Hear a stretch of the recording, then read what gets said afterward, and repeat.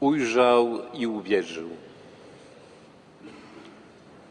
Księże Impułacie, umiłowani kapłani, a wśród nich księże rektorze, księża profesorowie seminarium, drodzy alumni, siostry zakonne, wspólnoto wiary zgromadzona na modlitwie w w archikatedrze gdańskiej, bracia i siostry, drodzy przedstawiciele mediów, Radia Gdańsk, drodzy radiosłuchacze Radia Gdańsk,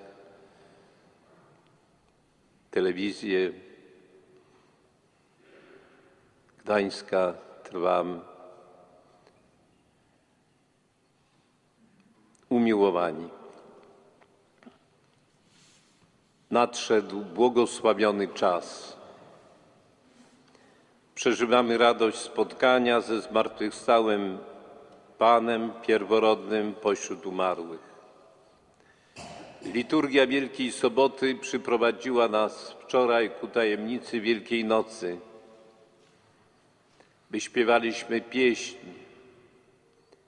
na cześć świecy, symbol Chrystusa. A w uroczystość Zmartwychwstania Pańskiego ewangelista Jan prowadzi nas w pobliże Golgoty. Do miejsca, gdzie w grobie ofiarowanym przez Józefa z Arymatei, człowieka dobrego i sprawiedliwego, złożone, zdjęte ciało z krzyża, ciało Jezusa. I w ciszy nocnej godziny, jeszcze nierozjaśnionej światłem brzasku, wyruszyła tam Maria Magdalena. Ogarnęło ją zdziwienie, więcej, nawet zaskoczenie. Ujrzała bowiem odsunięty grobowy kamień i powiedziała: Zabrano pana z grobu i nie wiem, gdzie go położono.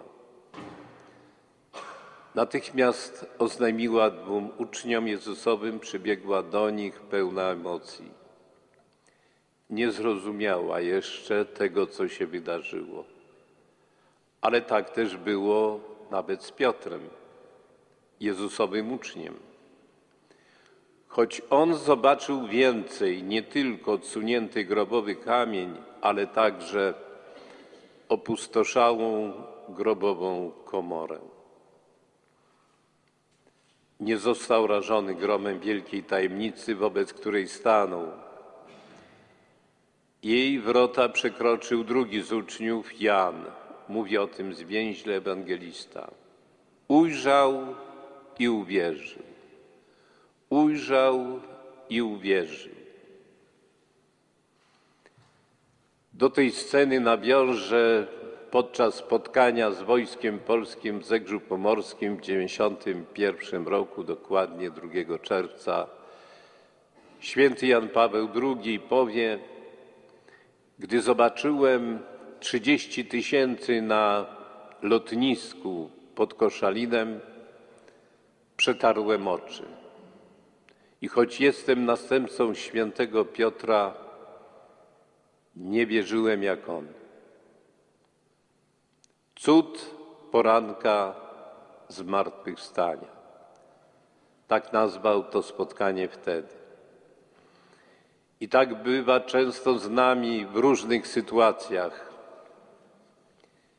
Nie tylko trzeba zobaczyć pusty grób, ale trzeba uwierzyć, że on naprawdę jest pusty, że Chrystus zmartwychwstał.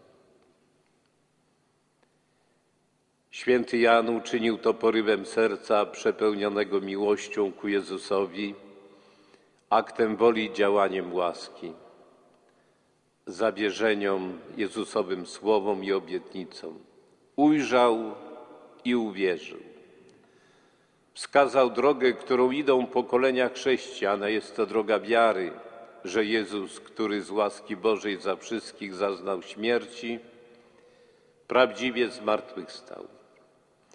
Umiłowani bracia i siostry, drodzy radiosłuchacze, wiara w zmartwychwstanie Chrystusa stanowi fundament Kościoła. Jakże często przywołujemy słowa świętego Pawła. Jeśli Chrystus nie zmartwychwstał, daremne jest nasze nauczanie, próżna jest także nasza wiara. Wiara w zmartwychwstanie Chrystusa jest także fundamentem naszej przyszłości, tej ostatecznej, która jawi się przed nami, przyszłości dotyczącej tego, co będzie po życiu doczesnym.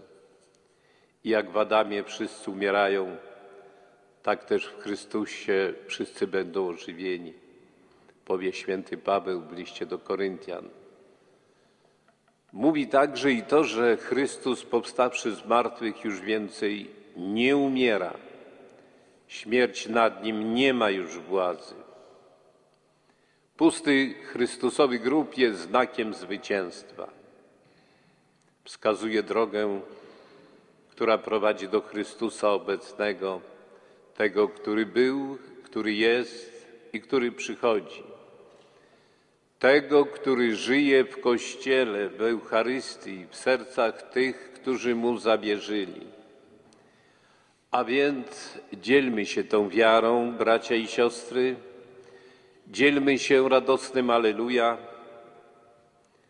Szliśmy przed chwilą w rezurekcyjnej procesji za Chrystusem, który prawdziwie zmartwychwstał. Zwycięzca śmierci, piekła i szatana, jak śpiewaliśmy. Umiłowani, zmartwychwstanie Chrystusa było wielkim darem ofiarowanym ludzkości, zapowiedzianym już przez proroków Starego Testamentu, ale także zapowiedzianym przez Jezusa w czasie Jego ziemskiego życia. Życie moje oddaję, aby je znów odzyskać. Mam moc je oddać i mam moc je znów odzyskać.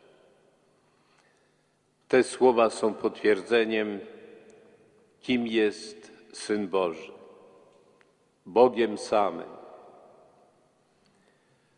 Ale zmartwychwstanie Pańskie poprzedzone zostało wyrokiem śmierci wydanym przez ludzi na Jezusa. Nie tylko przez Piłata, przez nas wszystkich. Jezus został skazany na śmierć za prawdę, którą niósł ludzkości. O tym, że jest Bożym Synem posłanym na świat dla naszego odkupienia i zbawienia, za prawdę o wspólnocie Ojca, Syna i Ducha Świętego, którą głosi wciąż współczesnym, za to, że żądał od tych, którzy poszli za Nim, aby naprawdę, którą przynosił, otworzyli swoje serca, dawali jej świadectwo. Prawda o zmartwychwstaniu Chrystusa jest istotą naszej wiary i w szczególny sposób głosi ją Kościół w czasie świąt wielkanocnych. Od Jeruzalem, od Bazyliki Grobu Pańskiego po krańce ziemi, po wszystkie kaplice i szałasy misyjne, gdziekolwiek są, rozbrzmiewa głos chwały zmartwychwstałego Pana. Rozbrzmiewa także i w naszej Ojczyźnie. Porusza nasze serca, budzi radość, proklamuje wieść o zmartwychwstaniu i pragniemy, aby Jego dźwięk nie ustał. Na spotkanie z Chrystusem zmartwychwstałym szliśmy drogami Wielkiego Postu. Przygotowaliśmy na nie serca, oczyściliśmy sumienia, a towarzyszące świętom wielkanocnym różnorodne wrosłe w naszą obyczajowość elementy naszej kultury świętowania to tylko swoista zewnętrzna dekoracja, piękne tło dla tego, co w tych dniach najważniejsze, a wyraża istotę starożytna pieśń. Chrystus zmartwychwstan jest, nam za przykład dan jest, iż mamy zmartwychwstać, z Panem Bogiem królować. Alleluja. Chrystus zmartwychwstan jest. I nie jest, jak to niektórzy ujmują, jedną z wielkich postaci w dziejach ludzkości. On jest Bóg z Boga, światłość ze światłości, Bóg prawdziwy z Boga prawdziwego, Boży Syn, który dla naszego zbawienia stąpił z nieba. Bracia i siostry umiłowani w Panu, drodzy radiosłuchacze. Tego roku trzeba w uroczystość zmartwychwstania Pańskiego także powiedzieć i włączyć to świętowanie kontekst święta tegorocznego naszej Ojczyzny, stulecia odzyskania niepodległości, kontekst najgłębszego nurtu dziejów ludzkości, dziejów naszej Ojczyzny, a także wierności Chrystusowi zmartwychwstałemu. Przyszedł do praojców naszych wtedy, gdy nasza państwowość się rodziła. Kiedy pierwszy biskup o imieniu Jordan i towarzyszący mu kapłani wodą chrzcielną obmywali twarz ojczyzny z nalotu pogańskich wierzeń. Wprowadzali do chrześcijańskiej Europy niczym ewangelicznych robotników wezwanych o godzinie 11 do winnicy pańskiej. Zmartwychwstały Pan żyje w Kościele, a Kościół katolicki w naszej ojczyźnie stanowi chyba nikt nie ma wątpliwości element narodowotwórczy. Uświęca polski naród i moralnie go doskonali. Ofiaruje pokoleniom dary odkupienia. Współtworzy w istotny sposób naszą historyczną tożsamość, kulturę, etos życia, tradycję i obyczaj. Powiedzieć można, stanowi duszę polskiego narodu. Kościół, którego On, zmartwychwstały Chrystus, jest głową. Kościół w służbie prawdy, którą jest Chrystus. Kościół wspólnoty narodu, nad którym szeroko rozciąga swe ramiona drzewo ojczyzny, którego korzeń, jak nas nauczał przed wiekami już ksiądz Piotr Skarga, to Chrystus. Umiłowani, rok 2018. Pan pozwolił nam go przeżywać i wyrazić wdzięczność Bogu za wydarzenie, które miało miejsce przed stuleciem, za niepodległość. Przyszła wyczekiwana, wywalczona, wymodlona, wycierpiana, wymarzona w listopadowy dzień 18 roku. Powróciła na mapę Europy. Obecna w polskich sercach, myślach, czynach, modlitewnych intencjach. Nawet nasi alumni przygotowują taki przewodnik duchowy, coś w rodzaju modlitewnika, szerzej nawet, 230 stron pod tytułem Duch Niepodległej. Zobaczymy, co będzie. Dziękujemy im za to. W imię niepodległej wybuchały powstania narodowe. Marzenie o niej i pewność, że nadejdzie, odzwierciedlała się w emigracyjnych i zesłańczych losach. Narodziło się zgromadzenie ojców zmartwychwstańców i sióstr zmartwychwstanek z pragnienia niepodległości. Objawiało się w świętości tylu ludzi tamtej epoki. Wspomnę święty brat Albert, powstaniec, kaleka, ojciec ubogich, niech będzie ich przykładem. Nadzieja i pewność zmartwychwstania polskiej ojczyzny, towarzysząca tamtym pokoleniom, płynęła z wpatrzenia się w Chrystusa zmartwychwstałego. I choć nie można było mówić o zmartwychwstaniu ojczyzny, niepodległości, wyrażały to często te tradycyjne groby pańskie, Wielkiego Piątku, Wielkiej Soboty i Niedzieli Zmartwychwstania. A kiedy przyszła, budowano kościoły wotywne ku czci Matki Bożej Zwycięskiej, jak na Kamionku chociażby w Warszawie i tylu innych miejscach, właściwie w każdym mieście większym. Ale poczę- poczęła budować także i gmach niepodległego państwa, integrować wspólnotę narodu, nasycać ją wartościami patriotycznymi. Na drogach ku niepodległej rozbrzmiewał także hymn Jeszcze Polska nie zginęła, kiedy my żyjemy. Dzieło naszego pomorskiego rodaka Józefa Wybickiego, absolwenta jezuickiego kolegium na Gdańskich Szkotach. Pieśń nadziei, synteza drogi polskich dróg ku wolności. Być może doczekamy się, że Uniwersytet Gdański przyjmie za patrona syna tej pomorskiej ziemi, Kaszeby, jak mówimy, który studiował tu, który marzył o zmartwychwstaniu ojczyzny, który poświęcił jej życie. Nie tylko hymn. Nie zginęła dzięki sile narodu.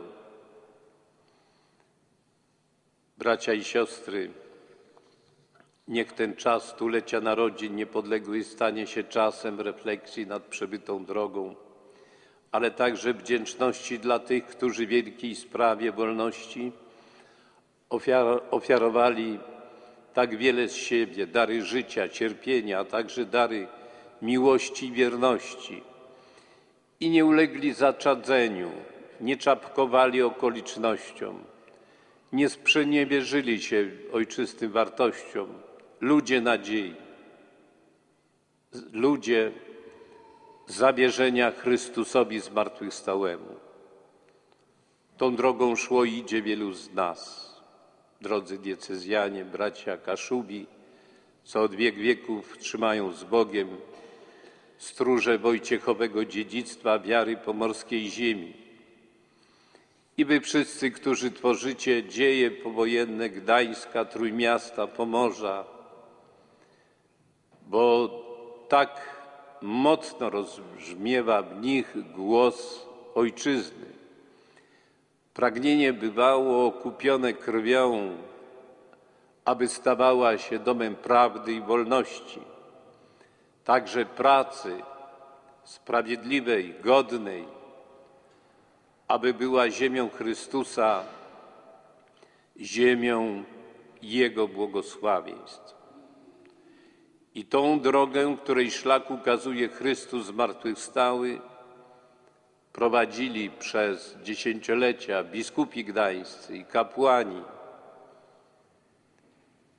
Pośród nich i ci, których imiona w szczególny sposób wyznaczają szlak ich drogi ku niepodległej, już z naszych czasów znani, z naszych ostatnich dziesięcioleciu i roku nawet, jak księża Józef Zator Przytocki, Hilary Jastak, zwany królem Kaszubów, ksiądz infułat Stanisław Bogdanowicz,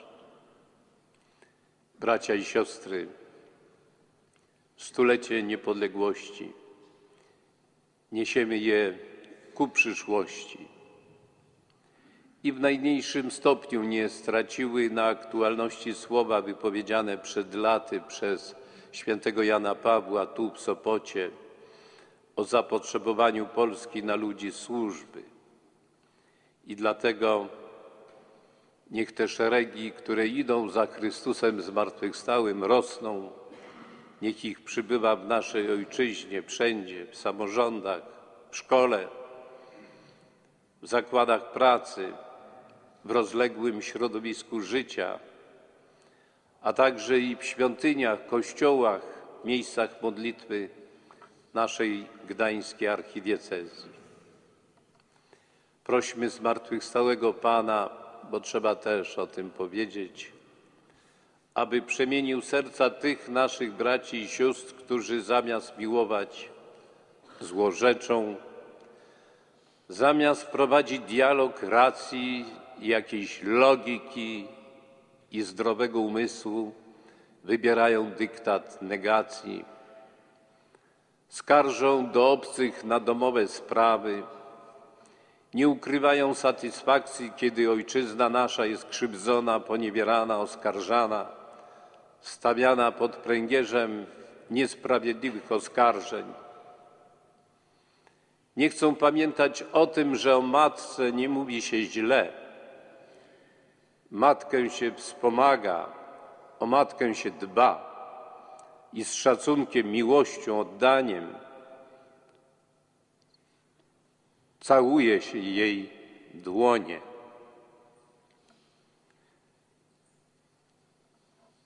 Ojczyzna nie może być domem nowej niewoli, umiłowania.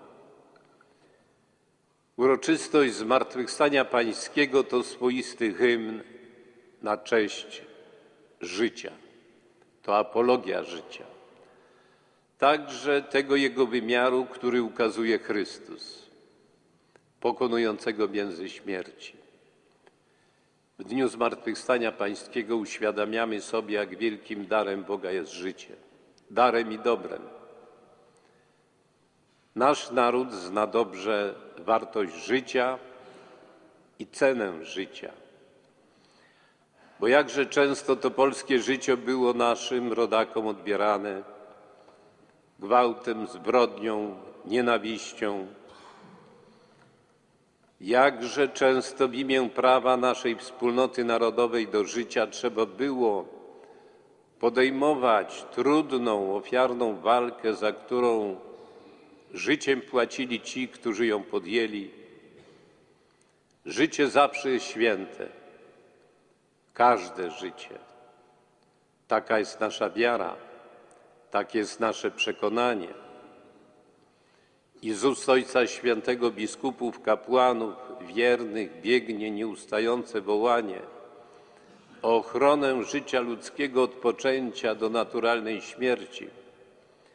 W tym wołaniu ujęty jest też głos tych, którzy głosu jeszcze nie mają, a mianowicie dzieci poczętych, zagrożonych unicestwieniem.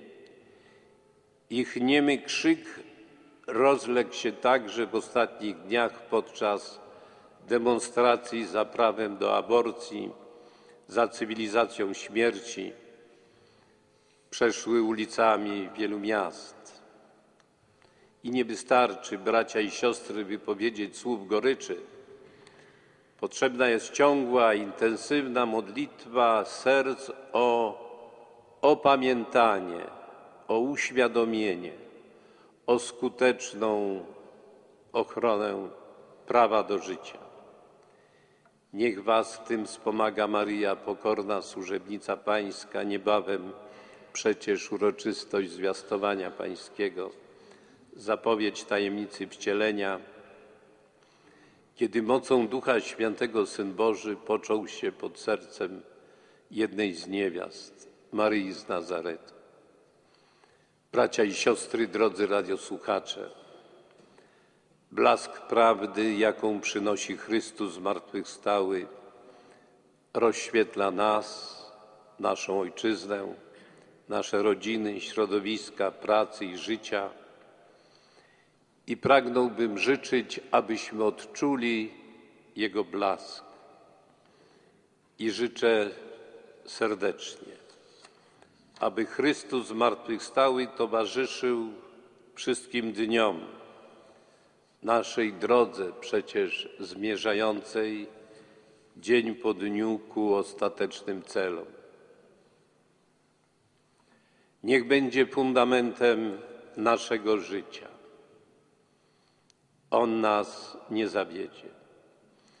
I kieruje także w to największe doroczne święto Zmartwychwstania Pańskiego życzenia do całej naszej archidiecezji, poczynając od braci biskupów Wiecława i Zbigniewa do kapłanów, którzy swoim wspólnotom obwieszczają radosną nowinę o zmartwychwstaniu, którzy przygotowywali przez czas Wielkiego Postu, poprzez rekolekcje, nauczanie, spowiedź, misję, do odnowy życia, do wspólnot życia konsekrowanego, do młodzieży seminaryjnej, do wszystkich wspólnot stanów i zawodów, i do dziennikarzy, i do ludzi morza, i stoczniowców, portowców, rybaków, marynarzy, do braci kaszubów, do harcerzy i żołnierzy, do weteranów dróg ku niepodległej, do młodych i tych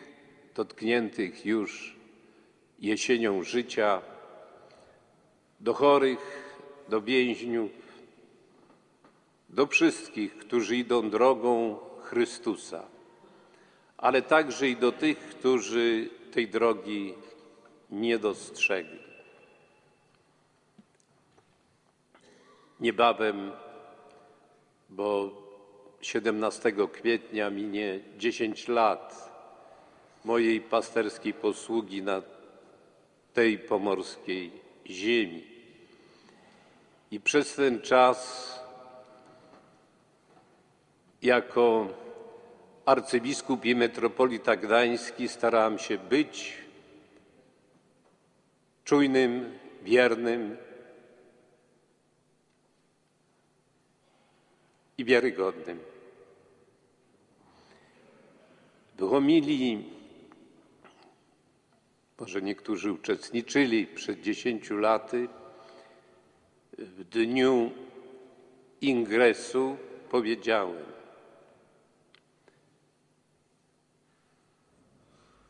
Przychodzę do Was w imię Pańskie w duchu zaufania, że mnie przyjmiecie, że zaufacie, otoczycie swoją modlitwą, że zrozumiecie i otworzycie Wasze serca na przesłanie nadziei, bo każdy biskup jest świadkiem i sługą nadziei.